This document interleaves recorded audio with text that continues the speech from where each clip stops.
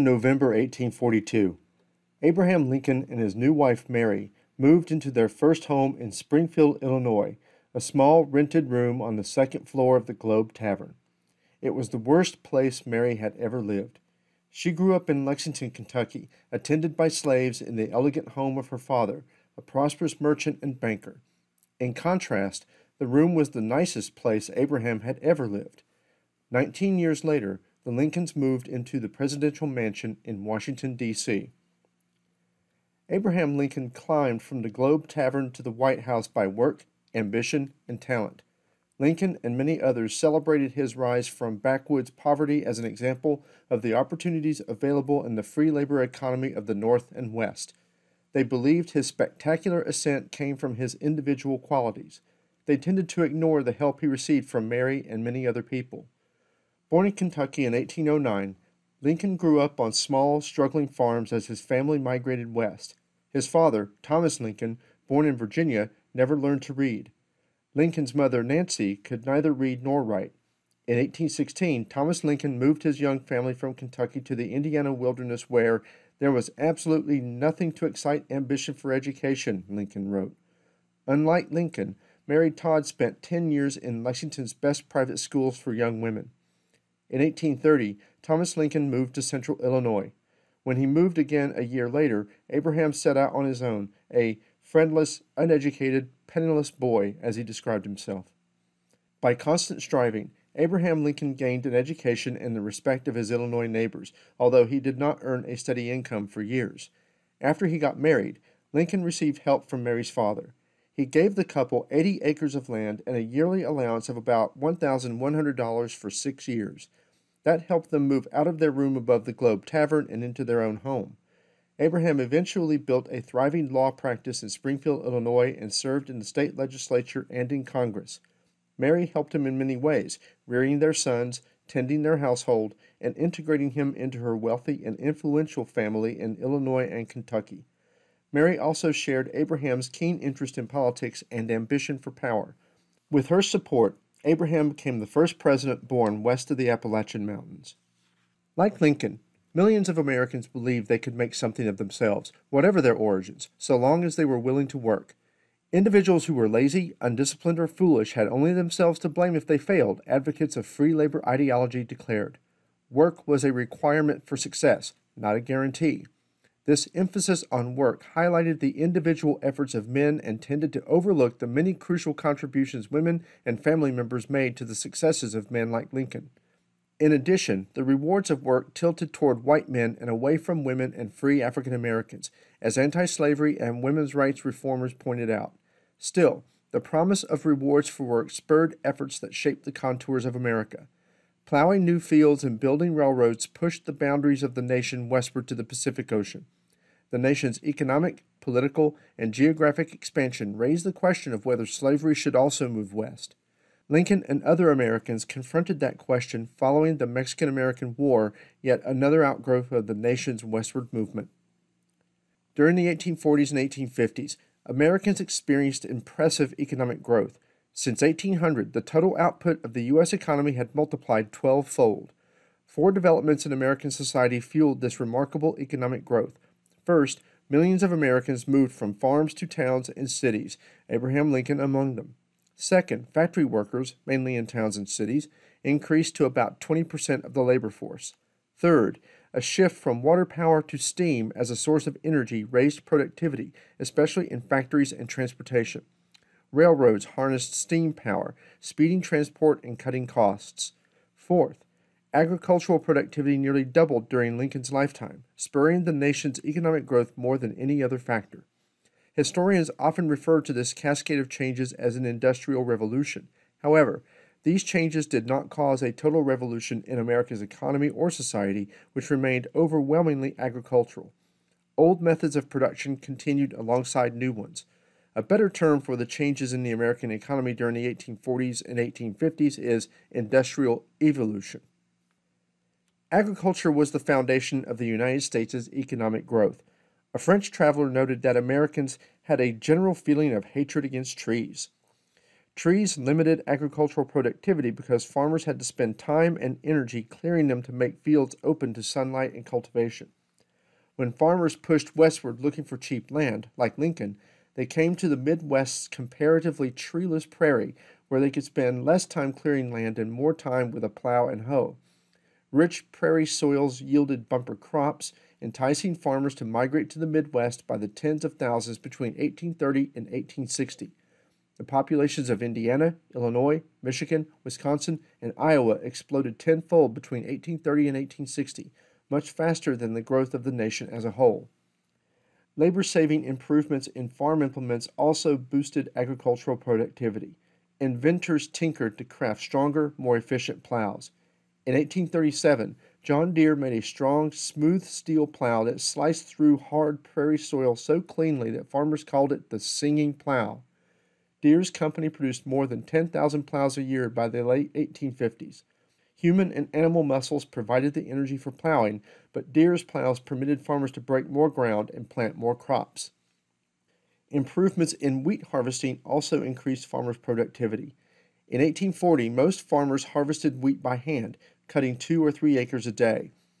In the 1830s, Cyrus McCormick and others experimented with designs for a mechanical reaper and by the 1840s, a McCormick reaper that cost between $100 and $150 allowed a farmer to harvest 12 acres a day. Improved reapers and plows, usually powered by horses or oxen, allowed farmers to cultivate more land, doubling the corn and wheat harvests between 1840 and 1860.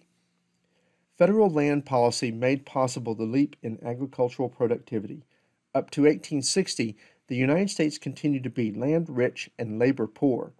The nation became much richer in land with the Louisiana Purchase, and the federal government made most of this land available for purchase in order to attract settlers and to generate money for government expenses.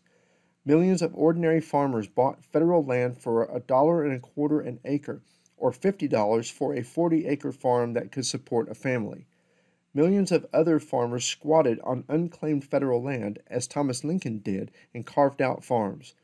By making land available on relatively easy terms, federal land policy boosted agricultural productivity, which in turn fueled the nation's economic growth. Changes in manufacturing arose from the nation's land rich, labor poor economy. In Europe's land poor, labor rich economies, few opportunities in agriculture created plenty of factory workers and kept wages low. In the United States, Western expansion and government land policies supported agriculture keeping millions of people on the farm. 80% of the nation's 31 million people lived in rural areas in 1860. The large agricultural workforce limited the supply of workers for manufacturing and in turn elevated wages. Because of the relative shortage of workers, American manufacturers searched constantly for ways to save labor and reduce their costs. Mechanization allowed manufacturers to produce more with less labor. In general, Factory workers produce twice as much per unit of labor as agricultural workers. Some manufacturers began making interchangeable parts and then assembling them into more or less uniform products. This process became known as the American system. It started in gun making and spread to other industries. Standardized parts made by machine also allowed manufacturers to employ unskilled workers who were much cheaper than highly trained craftsmen. Despite mechanization, factories remained small. Even in heavily mechanized industries, factories rarely employed more than 20 or 30 workers. Manufacturing and agriculture meshed into a dynamic national economy. New England led the nation in manufacturing, shipping goods such as guns, clocks, plows, and axes west and south. Southern and western states sent commodities such as wheat, pork, whiskey, tobacco, and cotton north and east. Between 1840 and 1860, coal production in Pennsylvania, Ohio, and elsewhere multiplied eightfold, cutting coal prices in half and powering the many coal fired steam engines. Even so, by 1860, coal accounted for more than a fifth of the nation's energy consumption. Even in manufacturing, muscles provided 30 times more energy than steam did. American manufacturers specialized in producing for the huge domestic market rather than for export. British goods dominated the international market, and they were usually cheaper and better than American made products. U.S. manufacturers supported tariffs to raise prices on British goods, but their best protection from British competitors came from pleasing their American customers, most of whom were farmers. The developing economy was accelerated by railroads, which linked farmers and factories in new ways. Railroads captured Americans' imagination because they seemed to break the bonds of nature. When canals and rivers froze in winter or became impassable during summer droughts, trains steamed ahead, averaging more than 20 miles an hour during the 1850s. Above all, railroads gave cities not blessed with canals or navigable rivers a way to compete for rural trade. In 1850, trains steamed along 9,000 miles of track, almost two thirds of it in New England and the Middle Atlantic states. By 1860, several railroads spanned the Mississippi River, connecting frontier farmers to the nation's 30,000 miles of track, approximately as much as in all of the rest of the world combined. In 1857, for example, France had only 3,700 miles of track, while England and Wales had 6,400 miles. The massive expansion of American railroads helped catapult the nation to the world's second greatest industrial power after Great Britain.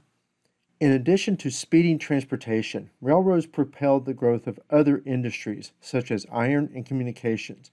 Iron production grew five times faster than the population during the decades up to 1860, in part to meet railroads' demand. Railroads also stimulated the emerging telegraph industry. In 1844, Samuel F. B. Morse demonstrated the potential of his telegraph by transmitting an electronic message between Washington, D.C. and Baltimore. By 1861, more than 50,000 miles of telegraph wires stretched across the continent to the Pacific Ocean, often alongside railroad tracks, accelerating communication of all sorts. Private corporations built and owned almost all American railroads, in contrast to the government owned railroads in other industrial nations. But privately owned American railroads received massive government aid, especially federal land grants. Up to 1850, the federal government had granted a total of 7 million acres of federal land to various turnpike, highway, and canal projects. In 1850, Congress approved a grant to railroads of six square miles of federal land for each mile of track laid. By 1860, Congress had granted railroads more than 20 million acres of federal land. These land grants supported railroad construction costs and promoted the expansion of the rail network, the settlement of federal land, and the integration of the domestic market. The railroad boom of the 1850s demonstrated the growing industrial might of the American economy. Like other industries, railroads succeeded because they served both farms and cities. But transportation was not revolutionized overnight. Most Americans in 1860 were far more familiar with horses than with locomotives. Even by 1875, trains carried only about one third of the mail. Most of the rest still went by horseback or stagecoach. The economy of the 1840s and 1850s linked an expanding westward moving population in farms and cities with muscles animals, machines, steam, and railroads. Abraham Lincoln planted corn and split fence rails as a young man before he moved to Springfield, Illinois, and became a successful attorney who defended railroad corporations, among others. His mobility, westward, from farm to city, from manual to mental labor, and upward, illustrated the direction of economic change and the opportunities that beckoned enterprising individuals.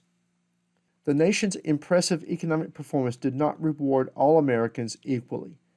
Native born white men tended to do better than immigrants. With few exceptions, women were excluded from opportunities open to men. Tens of thousands of women worked as seamstresses, laundresses, domestic servants, factory hands, and teachers, but they had little opportunity to aspire to higher paying jobs. In the North and West, slavery was slowly eliminated in the half century after the American Revolution but most free African Americans had dead end jobs as laborers and servants. Discrimination against immigrants, women, and free black people did not trouble most white men. With certain notable exceptions, they considered discrimination proper and just, the outcome of a free labor system that rewarded hard work and, ideally, education. During the 1840s and 1850s, leaders throughout the North and West emphasized a set of ideas that seemed to explain why the changes underway in their society benefited some people more than others. They referred again and again to the advantages of what they termed free labor. The word free here refers to laborers who were not slaves, of course. By the 1850s, free labor ideas described a social and economic ideal that accounted for both the successes and the shortcomings of the economy and society taking shape in the North and West. Spokesmen for the free labor ideal celebrated hard work, self reliance, and independence.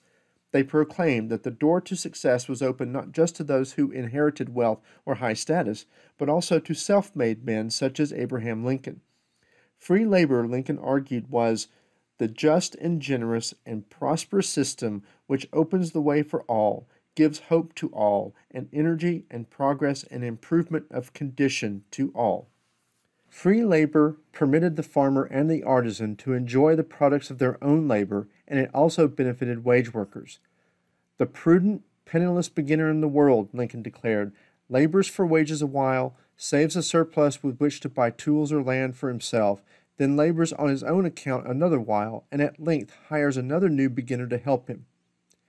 Wage labor, Lincoln claimed, was the first rung on the ladder that reached upward to self employment and eventually to hiring others. The free labor ideal proclaimed a democratic vision of human potential. Lincoln and other spokesmen stressed the importance of universal education. Throughout the North and West, communities supported public schools to make learning available to young children. In rural areas where the labor of children was difficult to spare, schools typically enrolled no more than half the school aged children. Textbooks and teachers, most of whom were young women, drummed into students the lessons of the free labor system self reliance, discipline, and, above all else, hard work. Remember that all the ignorance, degradation, and misery in the world is the result of indolence and vice, one textbook intoned. Both in and outside school, free labor ideology emphasized labor as much as freedom. The free labor ideal made sense to many Americans in the North and West who believed it described their own experiences. Money seemed to many the best measure of success. Despite the impressive growth of industry, the United States remained essentially an agrarian nation, but the profits from cash crop agriculture in the South, staple crop agriculture in the Midwest, and northern industry led to a rapidly widening gap between landowners and the landless, between rich and poor. By the 1830s, most farmers were tenant farmers, the independent yeomanry rapidly losing ground to southern plantation magnates and Midwestern and Mid Atlantic commercial farmers, though a fortunate minority did move from the ranks of the yeomanry to become commercial farmers, and small planters moved up to becoming large planters in the South.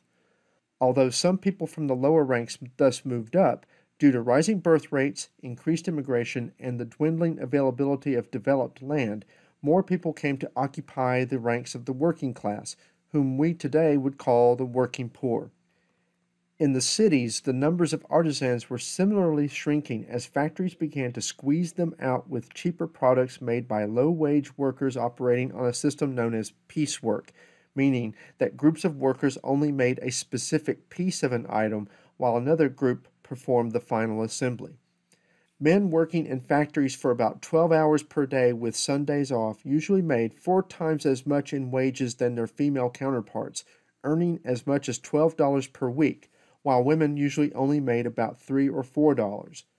A man could sustain himself and a wife or possibly a small family on such wages in very modest circumstances, and factory workers tended to enjoy reasonable job security, though often under conditions that varied from unhealthy to downright dangerous. Women fared only a little better in this regard. Very few below the professional class living in the cities owned their homes, and so the vast majority rented from landlords. In the countryside, land ownership became increasingly concentrated in fewer hands, such that more than 60% of the people living outside of the cities owned any land, and most landowners enjoyed large holdings that generated great wealth for them.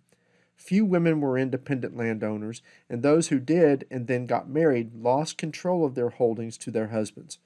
Free African Americans were in a still worse condition, 90% of whom owned no land, and most of them being unskilled or semi skilled laborers.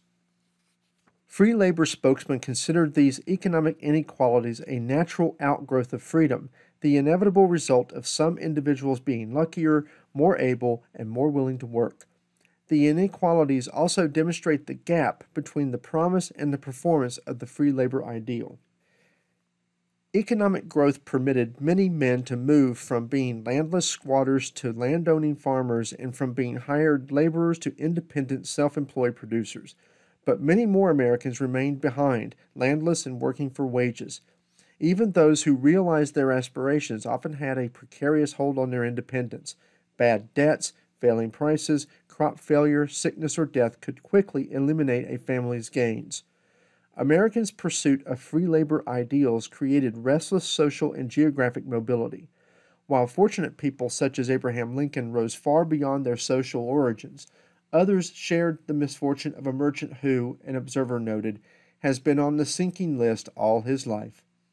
In search of better prospects, roughly two thirds of the rural population moved every decade, and population turnover in cities was even greater. The risks and uncertainties of free labor did not deter millions of immigrants from entering the United States between the 1840s and 1850s. Almost four and a half million immigrants arrived between 1840 and 1860, six times more than had come during the previous two decades. Nearly three fourths of the immigrants who arrived between 1840 and 1860 came from either Germany or Ireland. The majority of the 1.4 million Germans who entered during these years were skilled tradesmen and their families. Roughly one quarter were farmers, many of whom settled in Texas. German Americans were often Protestants. They usually were the kind of independent producers celebrated by free labor spokesmen. Relatively few worked as wage laborers or domestic servants. Irish immigrants, in contrast, entered at the bottom of the free labor ladder and struggled to climb up. Nearly 1.7 million Irish immigrants arrived between 1840 and 1860, nearly all of them desperately poor and often weakened by hunger and disease. Potato blight caused a deadly famine in Ireland in 1845, and it returned repeatedly year after year. Many Irish people crowded into ships and sailed to America, where they settled in northeastern cities. Roughly three out of four Irish immigrants worked as wage laborers or domestic servants. Irish men dug canals, loaded ships, laid railroad track, and did odd jobs. Irish women worked in the homes of others, cooking, washing, ironing, minding children, and cleaning house. Almost all Irish immigrants were Catholic, which set them apart from the overwhelmingly Protestant native born Americans. Many Americans regarded the Irish as hard drinking, unruly, half civilized folk. Job announcements commonly stated, No Irish need apply. One immigrant recalled that Irish laborers were thought of as nothing more than dogs, despised and kicked about. Despite such prejudices, Americans hired Irish immigrants because they accepted very low pay and worked hard. In America's labor poor economy, Irish laborers could earn more in one day than in several weeks in Ireland, but many immigrants also craved respect and decent working conditions. The opportunities for immigrants and native born laborers often did not live up to the optimistic vision outlined by the free labor ideal. Many wage laborers could not realistically aspire to become independent, self sufficient property holders, despite the claims of Abraham Lincoln and other free labor proponents. Beginning in the 1840s, the nation's expanding population, booming economy, and boundless confidence propelled a new era of rapid westward migration. Under the banner of Manifest Destiny, Americans moved west of the Mississippi River where they encountered American Indians who inhabited the plains, deserts, and rugged coasts of the West, the British who claimed the Oregon country, and the Mexicans whose flag flew over the vast expanse of the Southwest. Nevertheless, by 1850, the United States stretched to the Pacific and included the Utah Territory with its Mormon settlement. Frontier settlers took the land and then, with the exception of the Mormons, lobbied the federal government to acquire the territory they had settled. The human cost of expansion was high. The young Mexican nation lost a war and half of its territory. Two centuries of Indian wars, which ended east of the Mississippi during the 1830s, continued for another half century in the West. Most Americans believed that their superior institutions and white skin bestowed on them a God given right to spread across the continent. This conceit is based on the Christian belief in millennialism, meaning the thousand year long era of peace and prosperity during which Christianity rules the world before the second coming, and American Christians as far back as the Puritans of the late 17th century believed that America would be the seat of the millennial kingdom. Americans, whether devoutly Christian or not, believed that the West had become their birthright and that nothing can or should prevent them from taking full possession of the lands beyond the Mississippi River all the way to the Pacific Ocean. They imagined the West as a howling wilderness, empty and undeveloped. If they recognized Indians and Mexicans at all, they dismissed them as primitives who would have to be redeemed, shoved aside, or exterminated. The West provided young men, especially, an arena in which to show their manhood. Most Americans believed that the West needed the civilizing power of the hammer and the plow, the ballot box and the pulpit, which had transformed the East. In 1845, a New York magazine edited by John L. O'Sullivan coined the term manifest destiny to justify white settlers taking the land they wanted.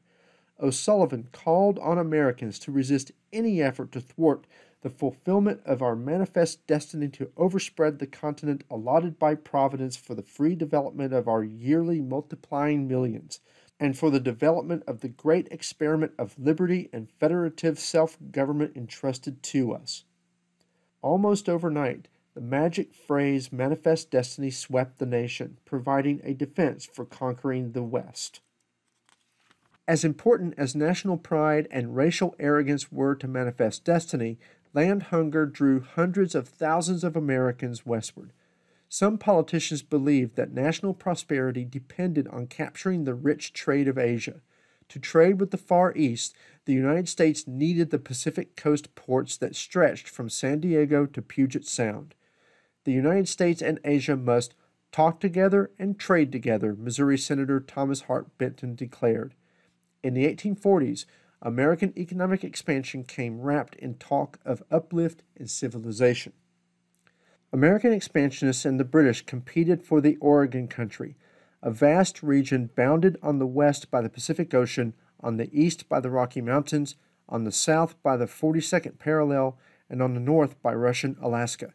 In 1818, the United States and Great Britain decided on joint occupation that would leave Oregon free and open to settlement by both countries.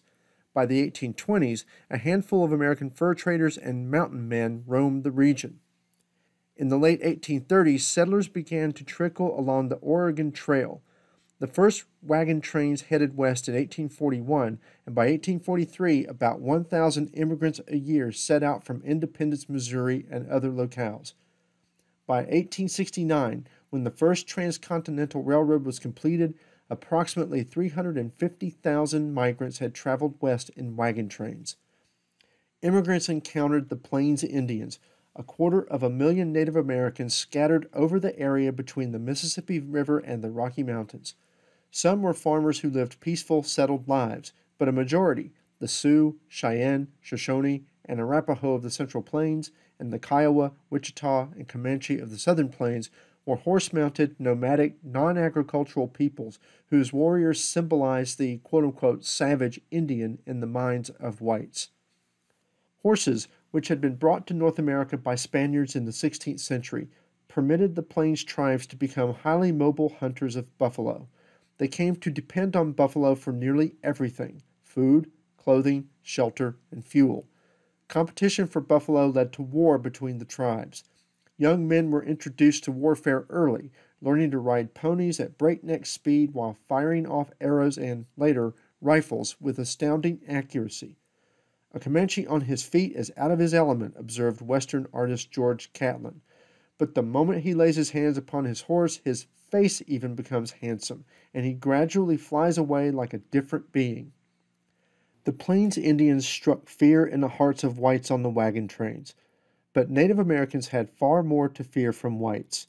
Indians killed fewer than 400 immigrants on the trails between 1840 and 1860, while whites brought alcohol and deadly pandemics, and white hunters slaughtered buffalo for the international hide market and sometimes just for sport. The government constructed a chain of forts along the Oregon Trail and adopted a new Indian policy concentration. In 1851, at the Fort Laramie Conference, the government persuaded the Plains Indians to sign agreements that cleared a wide corridor for wagon trains by restricting Native Americans to specific areas that whites promised they would never violate. This policy of concentration became the seedbed for the subsequent policy of reservations. But whites would not keep out of Indian territory, and Indians would not easily give up their traditional ways of life. Struggle for control of the West meant warfare for decades to come. Still, Indians threatened immigrants less than life on the trail did. Immigrants could count on at least six months of hard travel. With nearly 2,000 miles to go and making no more than 15 miles a day, the pioneers endured parching heat, drought, treacherous rivers, disease, physical and emotional exhaustion, and, if the snows closed the mountain passes before they got through, freezing and starvation. Women faced the ordeal of trailside childbirth. It was said that a person could walk from Missouri to the Pacific stepping only on the graves of those who had died heading west. Not every wagon train heading west was bound for the Pacific slope. One remarkable group of religious immigrants halted near the Great Salt Lake in what was then Mexican territory. After years of persecution in the East, the Mormons fled west to find religious freedom and communal security. Neighbors branded Mormons heretics and drove their founder, Joseph Smith Jr., and his followers from New York to Ohio, then to Missouri, and finally in 1839 to Nauvoo, Illinois, where they built a prosperous community. But after Smith sanctioned plural marriage, polygamy, non Mormons arrested Smith and his brother. On June 27, 1844, a mob stormed the jail and shot both men dead. The embattled church turned to an extraordinary new leader, Brigham Young, who oversaw a great exodus. In 1846, traveling in 3,700 wagons, 12,000 Mormons made their way to Iowa and then on to their new home beside the Great Salt Lake. Young described the region as a barren waste, the paradise of the lizard, the cricket, and the rattlesnake. Within 10 years, however, the Mormons developed an irrigation system that made the desert bloom. Under Young's stern leadership, the Mormons built a thriving community using cooperative labor, not the individualistic and competitive enterprise common amongst most immigrants. Young and the Mormon leadership declared sovereignty over an enormous territory just taken by the United States from Mexico following the Mexican War, which I'll come to in a few moments, that they called the State of Deseret.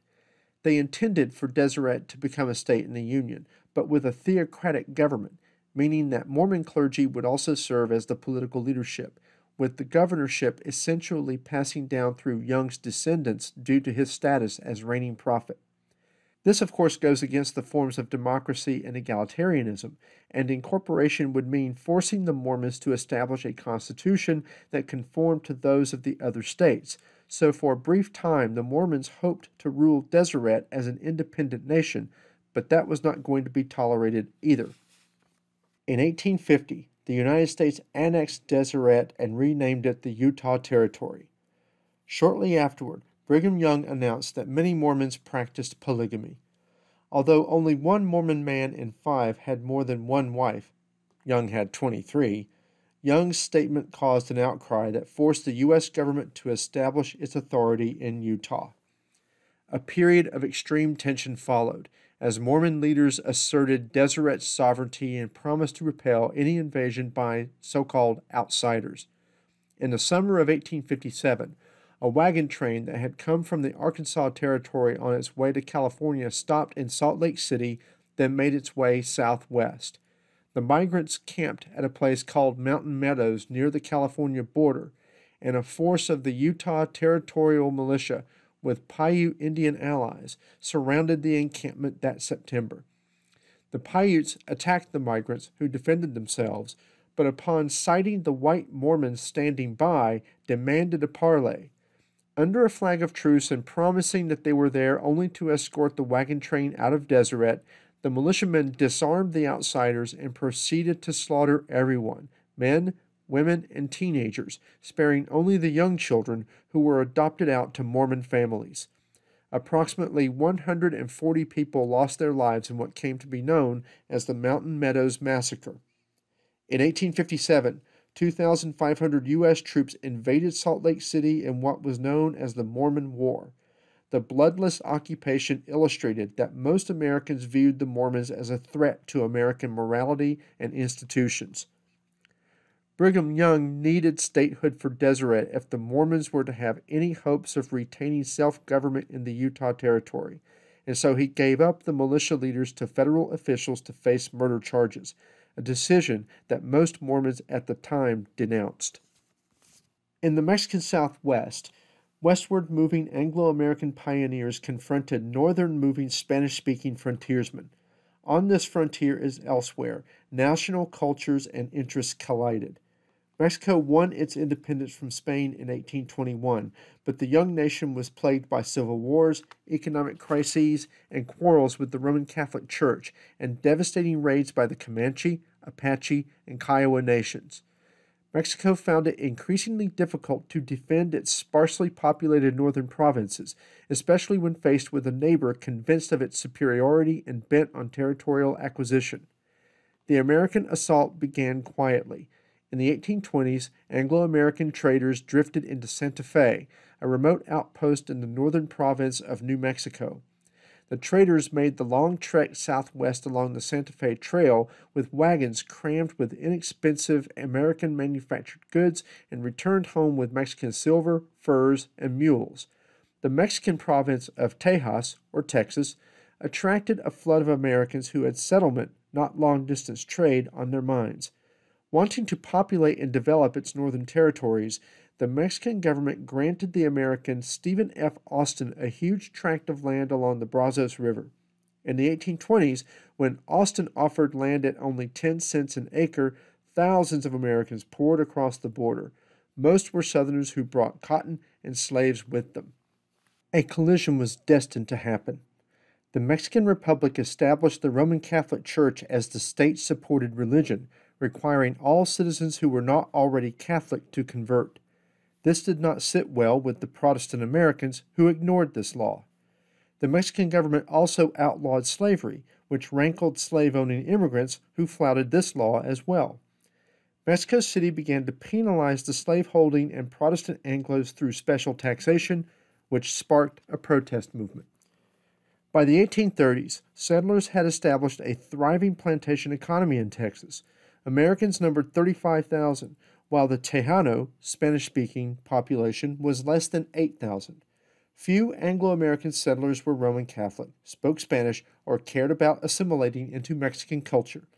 Afraid of losing Texas to the new arrivals, the Mexican government in 1830 banned further immigration from the United States and outlawed the introduction of additional slaves. Anglo Americans in Texas made it clear that they wanted to be rid of the despotism of the sword and the priesthood and to govern themselves. When the settlers rebelled, General Antonio Lopez de Santa Anna ordered the Mexican army to San Antonio. The rebels, commanded by Colonel William B. Travis from Alabama and including the Tennessee frontiersman Davy Crockett and the Louisiana adventurer James Bowie, as well as a handful of Tejanos, had occupied a former Franciscan mission known as the Alamo. In February 1836, Santa Anna sent wave after wave of his 2,000 man army crashing against the walls until the attackers finally broke through and killed all 187 rebels. A few weeks later, outside the small town of Goliad, Mexican forces captured and executed almost 400 Texans as pirates and outlaws. In April 1836, at San Jacinto, General Sam Houston's army adopted the massacre of Goliad as a battle cry and crushed Santa Anna's troops in a surprise attack. The Texans had succeeded in establishing the Lone Star Republic, and the following year, the United States recognized the independence of Texas from Mexico. Earlier in 1824, seeking to increase Mexican migration to the province of California, the Mexican government granted ranchos, huge estates devoted to cattle raising, to new settlers rancheros ruled over near feudal empires worked by Indians whose condition sometimes approached that of slaves. In 1834, rancheros persuaded the Mexican government to confiscate the Franciscan missions and make their vast lands available to new settlement. Despite the efforts of the Mexican government, California in 1840 had a population of only 7,000 Mexican settlers. Non Mexican settlers numbered only 380, but among them were Americans who championed Manifest Destiny. they convinced some American immigrants who were traveling the Oregon Trail to head southwest on the California Trail. The first overland party arrived in California in 1841. Few Americans in California wanted a war, but many dreamed of living again under the U.S. flag. In 1846, American settlers in the Sacramento Valley took matters into their own hands. Encouraged by John C. Fremont, a former Army captain and explorer who had arrived with a party of 60 buckskin clad frontiersmen, the Californians raised an independence movement known as the Bear Flag Revolt. By then, James K. Polk, a champion of expansion, sat in the White House. Before the war with Mexico in 1846, the region that today constitutes the American Southwest was claimed first by Spain, then Mexico, when in reality the land had belonged to Indian peoples. In Texas, in addition to farming tribes like the Caddos with a deep historic presence in the area, nomadic peoples like the Kiowas, Comanches, and Lipan Apaches vied for dominance. Not only did these Indian nations remain independent on the northern frontiers of Mexico, but they also were actually expanding. They incorporated other native peoples into their societies and, in some cases, pushed back the Hispanic frontier. The movement of Indian nations, the emergence and competition of the Mexican and American nation states, and the intrusion of new economic forces made the Southern Plains a volatile region in which people shifted loyalties and sometimes identities according to changing circumstances, opportunities, and imperatives. As it had throughout the 18th century, Indian power shaped the outcome of imperial struggles. Comanches and neighboring tribes who had raided south of the Rio Grande for years escalated their incursions in the 1830s and 1840s. Their attacks diverted and drained Mexican resources, drove away Mexican settlers, left whole areas devastated, and generated political instability. By the time American armies marched in, the Comanches, Kiowas, and Apaches had rendered Mexico's northern provinces ripe for conquest. After Texans won their independence from Mexico in 1836, Sam Houston became the first president of the Republic of Texas.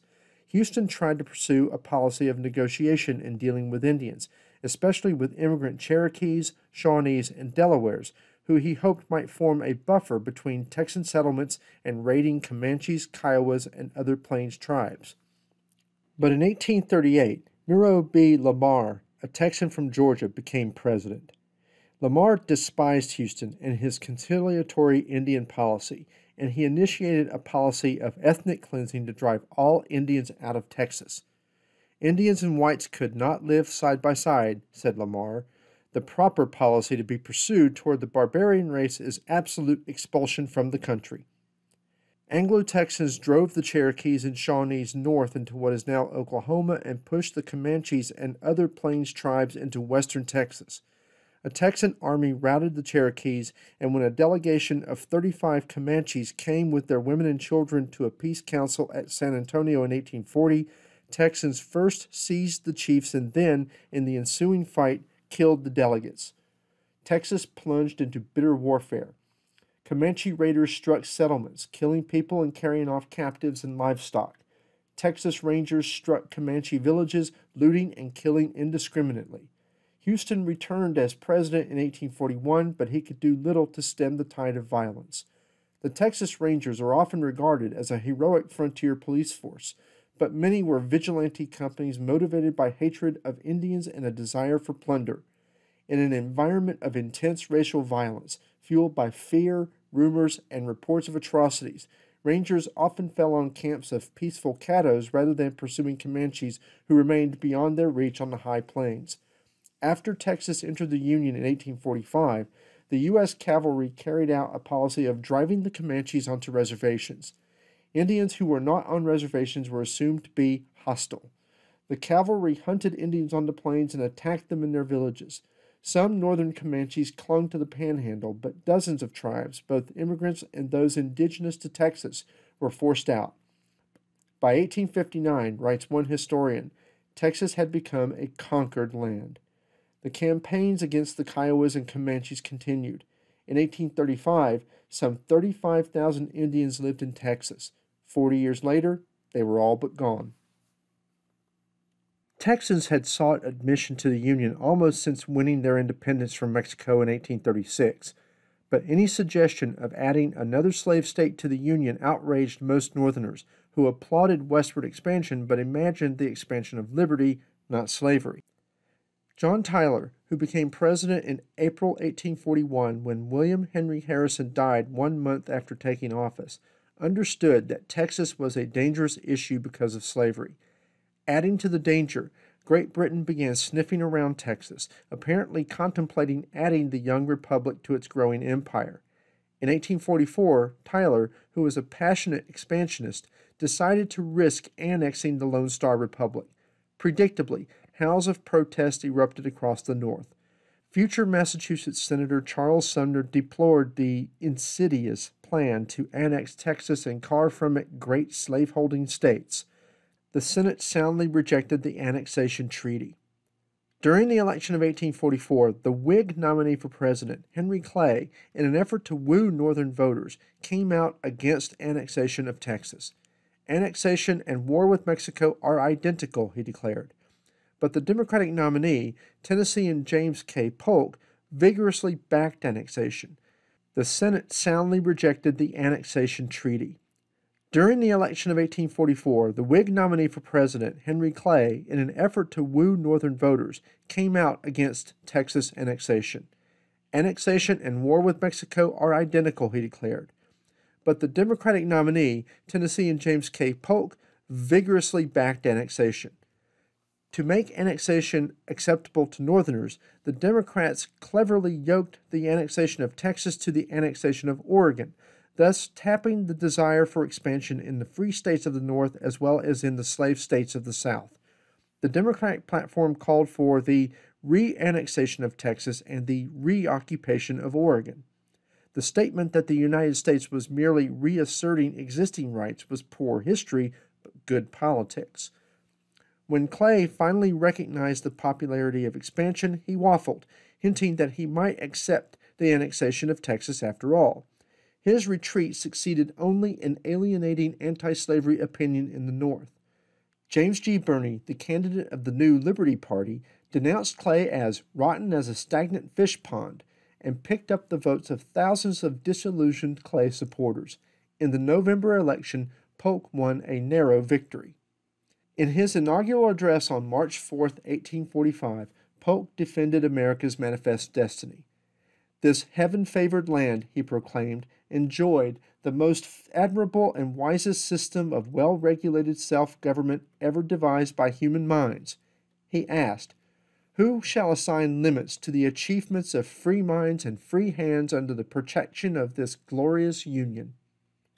The nation did not have to wait for Polk's inauguration to see the results from his victory. One month after the election, President Tyler announced that the triumph of the Democratic Party provided a mandate for the annexation of Texas promptly and immediately. In February 1845, after a fierce debate between anti slavery and pro slavery forces, Congress approved a joint resolution offering the Republic of Texas admission to the United States. Texas entered as the 15th slave state. While Tyler delivered Texas, Polk had promised Oregon too. Westerners particularly demanded that the new president make good on the Democratic pledge 5440 or fight, that is, all of Oregon right up to Alaska. 54 degrees 40 minutes was the southern latitude of Russian Alaska. But Polk was close to war with Mexico and could not afford a war with Britain over U.S. claims in Canada he renewed an old offer to divide Oregon along the 49th parallel. Westerners cried betrayal, but when Britain accepted the compromise, the nation gained an enormous territory peacefully. More importantly, also a deepwater port in the Puget Sound, which gained access to Asia trade. When the Senate approved the treaty in June 1846, the United States and Mexico were already at war.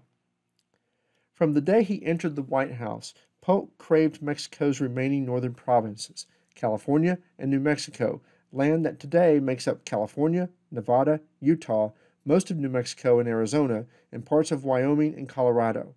Since the 1830s, Indians had attacked Mexican ranches and towns, killing thousands, and Polk pointed to Mexico's inability to control its northern provinces to undermine its claims to them. The president hoped to buy the territory, but when the Mexicans refused to sell, he concluded that military force would be needed to realize the United States' manifest destiny. Polk ordered General Zachary Taylor to march his 4,000 man army 150 miles south from the Nueces River, the southern boundary of Texas according to the Mexicans, to the banks of the Rio Grande, the boundary claimed by Texans. Viewing the American advance as aggression, Mexican cavalry on April 25, 1846, attacked a party of American soldiers, killing or wounding 16. On May 11th, the President told Congress Mexico has passed the boundary of the United States, has invaded our territory, and shed American blood upon American soil. Thus, war exists, and notwithstanding all our efforts to avoid it, exists by the act of Mexico herself. Congress passed a declaration of war and began raising the army. The U.S. Army was pitifully small, only 8,600 soldiers. Faced with the nation's first foreign war against a Mexican army that numbered more than 30,000, Polk called for volunteers. More than 30,000 Tennesseans competed for the state's 3,000 allotted positions. Eventually, more than 112,000 white Americans, 40% of whom were immigrants, African Americans were banned, joined the army to fight in Mexico. Despite the flood of volunteers, the war divided the nation. Northern Whigs in particular condemned the war. The Massachusetts legislature claimed that the war was being fought for the triple object of extending slavery, of strengthening the slave power, and of obtaining control of the free states. On January 12, 1848, a gangly freshman Whig representative from Illinois rose in the House of Representatives and likened the president's views to the half insane mumbling of a fever dream. He proclaimed Polk a bewildered, confounded, and miserably perplexed man.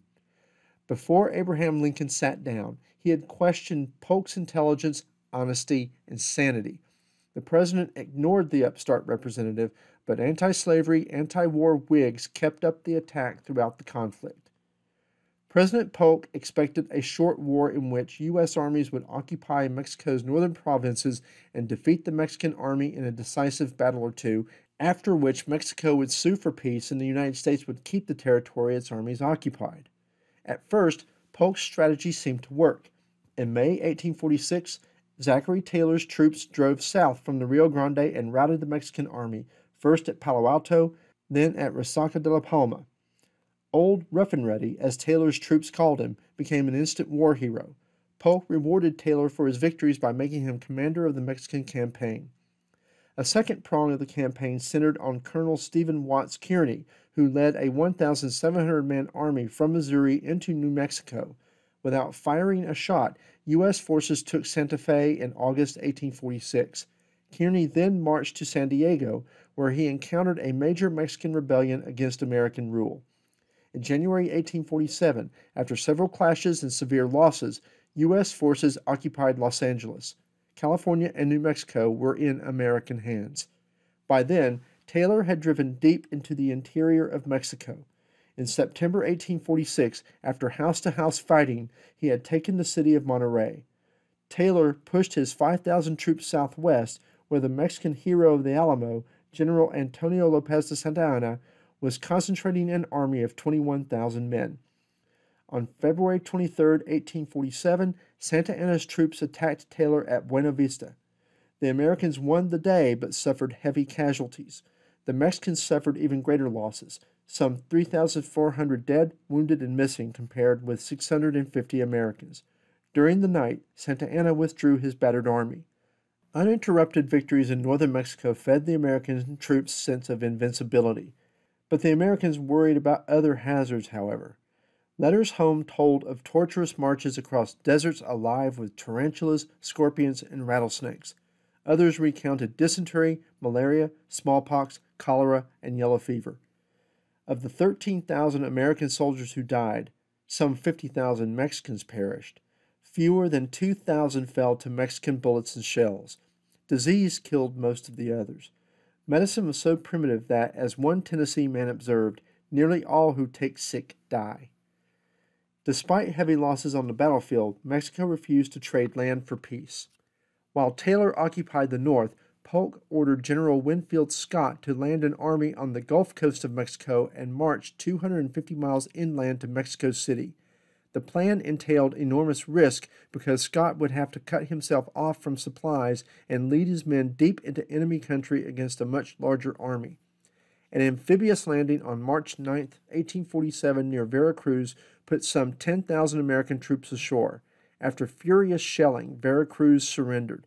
In April 1847, after gathering 9,300 wagons, 17,000 pack mules, 500,000 bushels of oats and corn, and 100 pounds of blister ointment, Scott's forces moved westward, following the path blazed more than three centuries earlier by Hernan Cortez to Mexico City.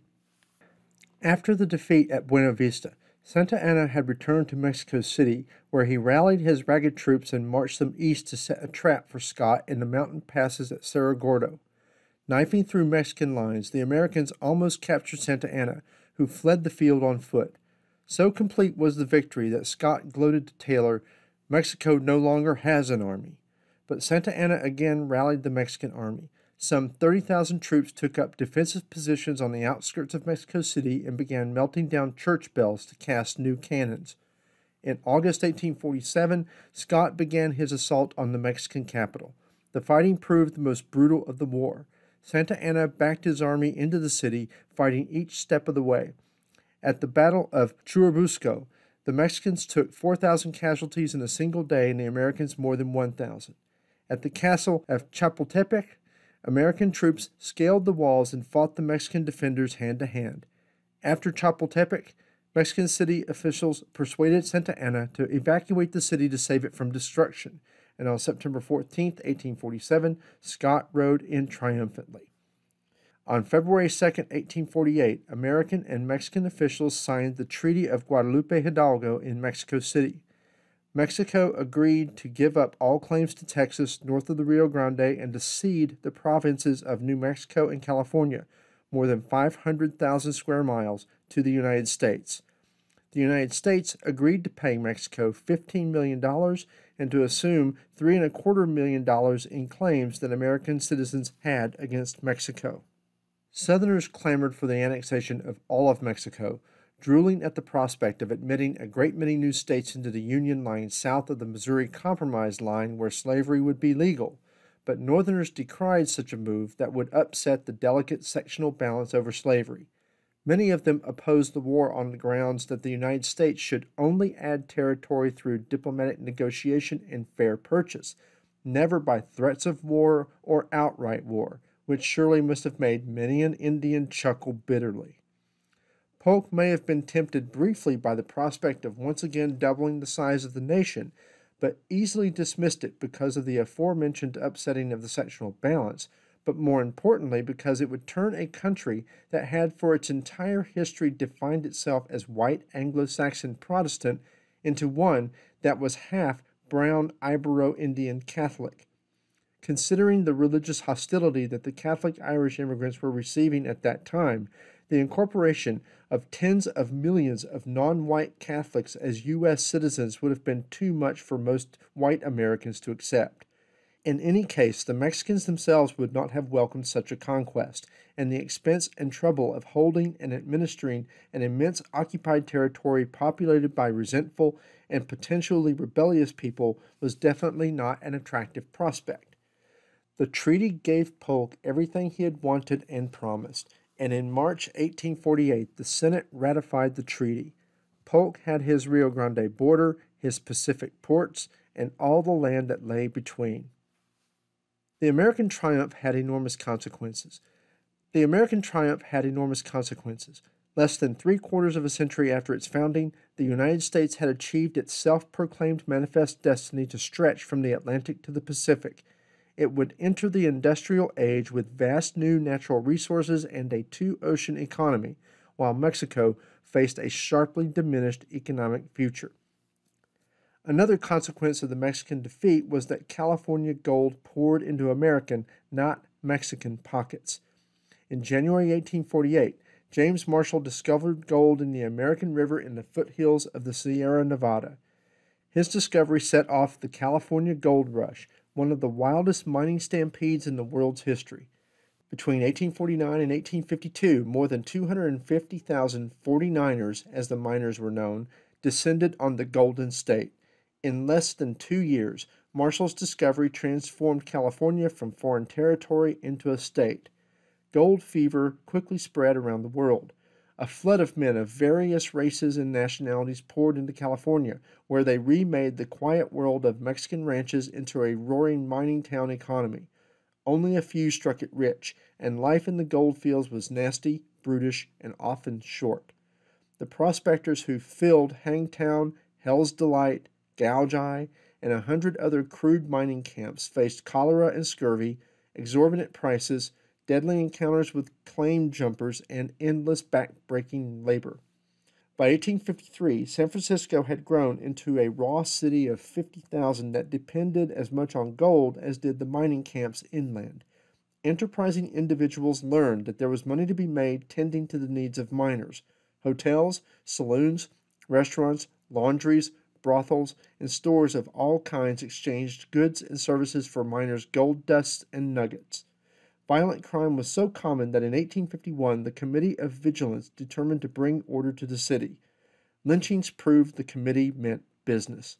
Establishing civic order was made more difficult by California's diversity and Anglo bigotry. The Chinese attracted special scrutiny.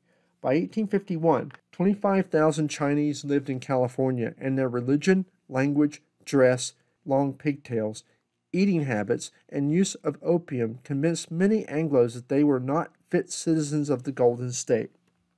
In 1850, the California legislature passed the Foreign Miners Tax Law, which levied high taxes on non Americans to drive them from the gold fields, except as hired laborers. The Chinese were restricted to certain residential areas and occupations and, along with blacks and Indians, denied public education and the right to testify in court. Opponents demanded a halt to Chinese immigration, but Chinese leaders in San Francisco fought back. Admitting deep cultural differences, they insisted that, in the important matters, we are good men, we honor our parents, we take care of our children, we are industrious and peaceable, we trade much, we are trusted for small and large sums, we pay our debts, and are honest, and of course must tell the truth. Their protests offered little protection, however, and racial violence grew. Anglo American prospectors asserted their dominance over other groups, including the Californios, Spanish and Mexican settlers who had lived in California for decades.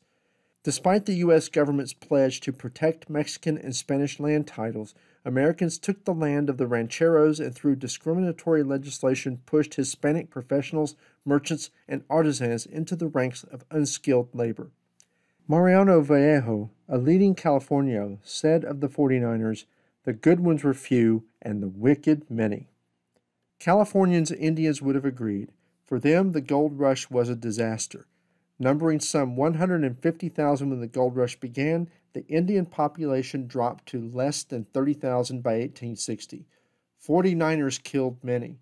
One observer described white behavior toward Indians during the gold rush as one of the last human hunts of civilization and the basest and most brutal of them all. The government of California sanctioned a war of extermination until the Indian race becomes extinct. In California, the Indian population was shattered by the massive upheavals that followed the discovery of gold. Americans in California routinely depicted the native inhabitants as degenerate and primitive, little better than wild animals. Miners, settlers, and volunteer companies hunted down Indians in systematic campaigns of extermination. When Pomo Indians killed two avaricious miners who had ruthlessly exploited their Indian laborer, American soldiers retaliated in 1850, killing more than 100 Pomo men, women, and children in a perfect slaughter pen, according to the officer commanding the troops. Historians disagree about whether it is appropriate to use the term genocide in American Indian history. Those who first addressed the question head on often tended to be polemical. Their work was suggestive and provocative, but of uneven quality and limited usefulness. Other historians have too easily dismissed the term as not applicable to the United States. But genocide studies is now an established field of scholarship, and scholars of Native American genocide now engage in painstaking accumulation of evidence rather than sweeping generalizations. If genocide occurred anywhere in the United States, it seems, it occurred in California in the wake of the gold rush. Genocide is a term of awful significance, wrote the late historian Tom Hagen, but one which has application to the story of California's Native Americans. Many scholars today agree. Whether it is called genocide, ethnic cleansing, or simply mass murder, there seems little doubt that California became a killing field where white vigilante groups carried out mass killings and many more people through apathy, inaction, or tacit support allowed it to happen. Between 1846 and 1873, state and federal policies, vigilante violence, destruction of villages and food resources, unfree labor, kidnapping, reservation neglect, lack of legal protection, disease, and mass murders reduced California's Indian population by 80%. The influx of thousands of single men to work the gold fields put Indian women in a precarious and often perilous position. Some men turned to native women for companionship and lasting relationships. But unlike fur traders, miners did not need to establish long term relationships with native women or kinship ties with native communities to achieve their economic goals. Many men turned on Indian women in acts of sexual violence. Poverty and starvation forced some women into prostitution. Thousands of women and children throughout California were sold into slavery. Many white Californians depended on Indian labor on their ranches, and capturing and indenturing or selling Indian children was common. When California achieved statehood in 1850, ranchers lobbied hard to get the state to implement an Indian code, which, like the slave codes in the South, would regulate and control the labor force. The delegates to California's Constitutional Convention voted unanimously to prohibit slavery in California, but they were thinking of black slavery, not Indian slavery. California Indians were to remain a subservient class of laborers without political rights and with inferior legal rights. Contemporary stereotypes depicted California Indians as dissolute and idle. Under California's laws, Indians were free, but they were not free to be idle. The 49ers created dazzling wealth. In 1852, 81 million ounces of gold, nearly half of the world's production, came from California. However, most miners never struck it rich and eventually took up farming, opened small businesses, or worked for wages for the corporations that took over the mining industry.